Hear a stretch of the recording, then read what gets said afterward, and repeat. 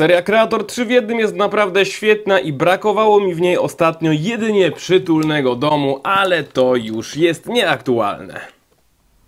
Wydaje wam się, że ten dom jest mały? Nic z tych rzeczy. Możemy go naturalnie otworzyć i zmontować w ten sposób.